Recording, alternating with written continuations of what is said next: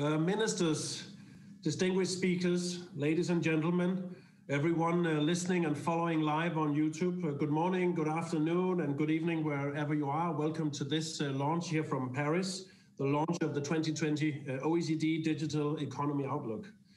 I'm really delighted to open today's event to showcase the OECD's work on a topic whose relevance has grown immensely in the last months, uh, the digital economy. Over the next hour, we will hear about the digital economy, uh, how it's been evolving, uh, evolving, and the implica implications for a global recovery from uh, COVID. We will hear from two uh, OECD countries about their digital policy responses to the pandemic. COVID-19 continues uh, to cause uh, tremendous human suffering with its impact permeating every facet of our lives. The toll on the global economy is also severe, of course. But digital technologies have helped our economies and our societies avoid a complete standstill. And there's no doubt that they will continue to transform the way we live, the way we work. The Zoom boom, as demonstrated by the format of, uh, of today's discussion, is just one example of the COVID induced digital acceleration that we've witnessed over these past months. Widespread connectivity has allowed many businesses and individuals to adapt to the crisis. Children with uh, at-home internet access began attending class remotely. Many firms adopted digital business models to maintain operations and preserve revenue flows. Even before the pandemic, we saw governments increasingly putting the digital transformation at the center of their policy agendas, including devoting more attention to emerging uh, technologies such as AI, uh, blockchain, and 5G infrastructure. That paid dividends for sure, as many countries around the world have been able to use such technologies to learn more about the virus, uh, accelerate the search for a vaccine, and track the development of the pandemic, just to uh, mention a few examples. Yet while the pandemic is further accelerating uh, an already rapid digital transformation, it's also revealed that we're really just getting started on this journey. COVID-19 has raised the bar for digital inclusion. It runs the risk of bringing new challenges and opening new divides. The new OECD Digital Economy Outlook shines a spotlight on the increasingly important role of digital technologies and communications uh, infrastructures in our daily lives. It considers how the pandemic is amplifying opportunities and challenges from the digital transformation and reinforces the link between digitalization and economic recovery. Today, uh, OECD's Director for Science, Technology and Innovation, uh, Andrew Wyckoff, will present the highlights of the Digital Economy Outlook.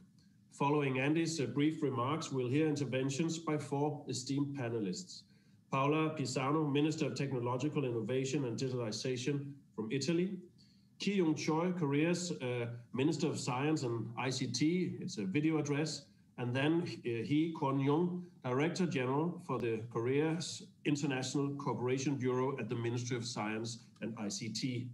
And then Deepak Mishra, a lead economist at the World Bank and the co-director for the World Development Report 2016 on Internet and Development. The OECD experts behind the Digital Economy Outlook will then be available for questions following the panel. So please do submit questions uh, anytime uh, via the Q&A function on Zoom, accessible via the bottom, uh, bottom panel of your screen. Colleagues from uh, the OECD uh, Secretariat will be moderating the chat today. Please feel free to state your affiliation when asking questions have to say, as already said, uh, the uh, webinar is also being live streamed on YouTube and it will be available also on the OECD website after the session. So I'm looking forward to a lively discussion and it's my pleasure now to invite uh, Andy to take the floor. Andy. Thank you, Deputy Secretary General Knudsen. Uh, it's my pleasure to uh, present this year's Let's see if I can do it.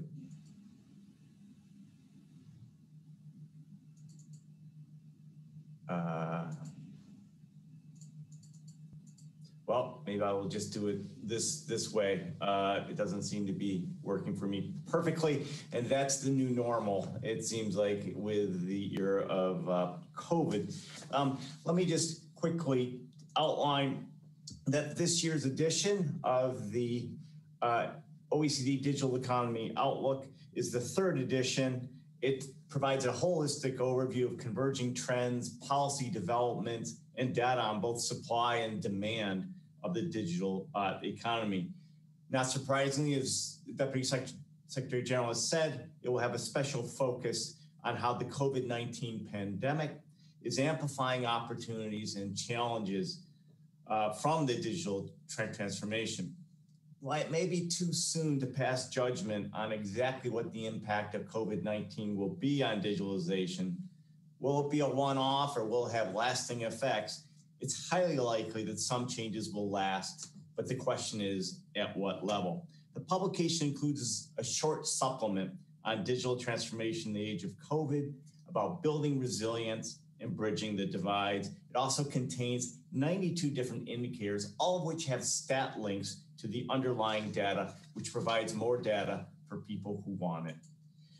The 2017, in 2017, OECD launched uh, the Going Digital Project. This is a very large undertaking across the OECD to study the digital transformation underway.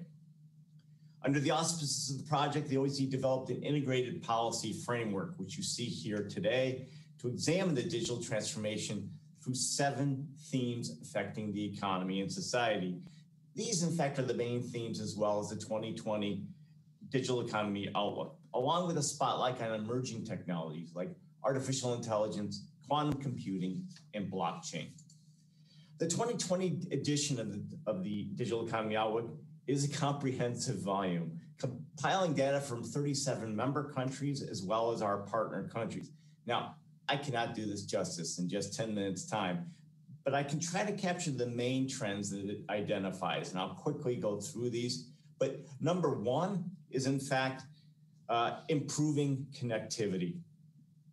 And uh, where we've seen over time a, a vast improvement in the way businesses and individuals are adapt to uh, uh, are able to adapt to the crisis um, with digital technologies as Deputy Secretary General Knudsen just said. But what's important here is the digital divide persists. These are persistent gaps in access, use, skills between regions, localities, and countries, between age and gender groups, between different sectors and firms of different sizes.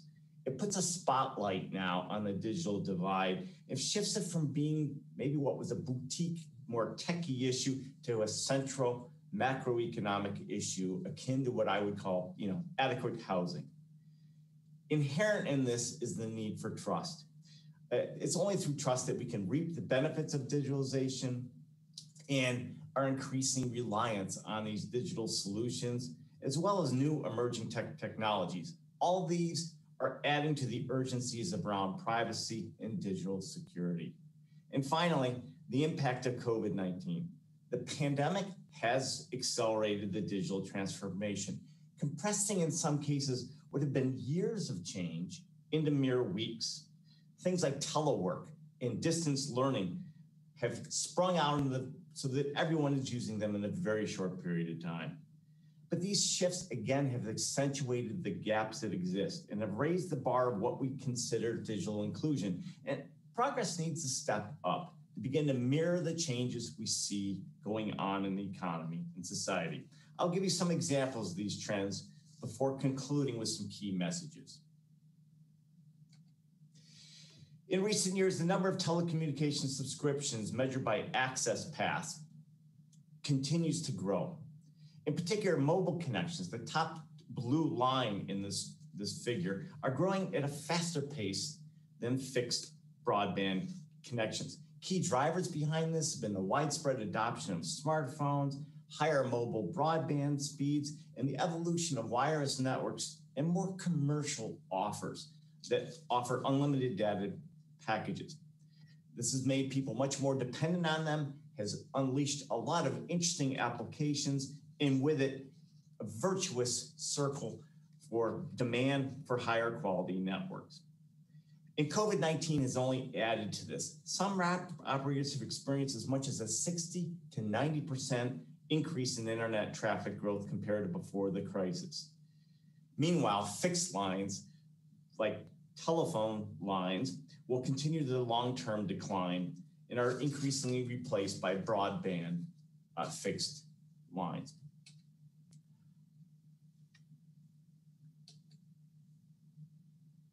moving to the next slide. Thank you. But in spite of these, these improvements, important gaps remain. For, for example, in fiber, we find fiber is critical for advancing connectivity. It can create uh, both faster access speed, but also plays an important role in transferring data, what we call backhaul. And it's essential for moving to the next phase, such as 5G. And yet it only makes up one quarter of the fixed broadband connections in the OECD. As you can see from this figure, they're in incredibly different situations that prevail across OECD countries.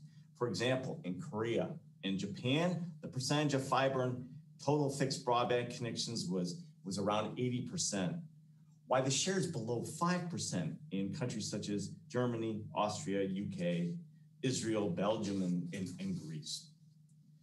Other gaps uh, are evident in terms of the sizes of firms, both in terms of connectivity, as shown here in the top figure, where the black line represents the difference between large and small firms, as well as the use of specific information communication technologies like big data analysis, which is shown in the bottom figure, or even cloud computing.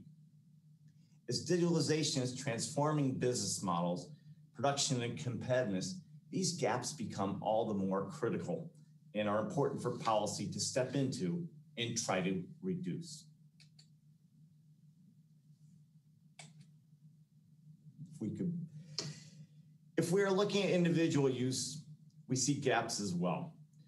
With, with data indicating significant gaps by age, education, and income, as we see in this figure. This figure shows that in some countries, these gaps are very big and virtually non-existent in other countries, such as in Scandinavia.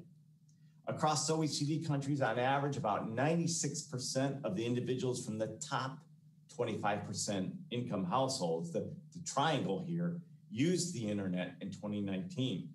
But the share dropped to 74% amongst those in the bottom 25% income households, a gap of almost 22 percentage points. If we look at online activities, which vary by their sophistication, from sending emails through online purchases and use of the cloud for job searching and online sales, we see important differences in activities between countries. Over 80% of individual users send emails on average, but only about 40% uh, use it for online purchases. And we see big gaps between countries are found in activities such as e-government access and online purchases, with some countries below 20%, while others at 80%. An obvious trend in this year's Digital Economy Outlook is the impact of COVID-19 on digitalization. One aspect of this uptake of technologies, which we're using today, uh, we see a leap in the use of certain online communication platforms, particularly as the lockdown hit, as you can begin to see in these two figures around March of 2020. This is the result of massive numbers of people and organizations who switched to telework using tools like these for the first time. And as this figure shows, video conferencing applications, Zoom, Skype, and online tools like Trello, Slack have experienced marked increases in use in countries for which data are available. In this case, France, Hungary, and Poland. Now, such tools help teams share information, coordinate, and collaborate, and have been essential for keeping the economy and society going during this period of confinement.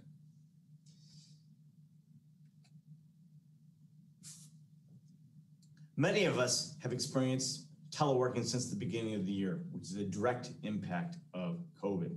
As you can see from the chart in this slide, and I look forward to hearing Minister Pisano in a second, changes in business models affect all industries, but naturally to a different extent, and not all sectors have the same teleworking potential. We were able to get very good data from Statistics Italy that shows that teleworking during the lockdown um, actually reached almost its potential across many firms as, as measured uh, in some sectors uh, such as the blue bar here. And moreover, there's been a, why we've seen a decrease as uh, the lockdown eased a bit between the triangle and the circle here. Again, it was far above where we were at the pre-COVID levels. Again, this differs significantly across sectors, but it's an important indication that even after the COVID pandemic passes, things will have changed uh, on a more permanent basis. Just to conclude with some key messages, um, coming out of the uh, Digital Economy Outlook 2020, first, COVID is impacting us all in similar ways.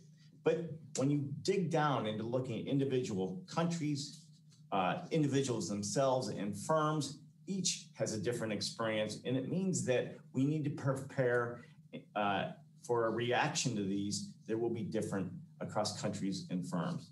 Second, countries have begun to step up to the plate. Uh, they started to adapt their, their policy environments with national digital strategies being, being developed. What's important is they're not too narrow. They need to be broad enough because as I've said before, this is enveloping and consuming the whole economy and hence needs a coordinated effort across the government. Third, to ensure the economic recovery, we must understand that the digital economy is integral to the economy. And this needs to be reflected in strategy and policy. The digital economy needs to be put front and center. Thank you. And I really look forward to our speakers today sharing their perspective on the digital transformation, COVID 19, and the economic recovery. Thank you very much.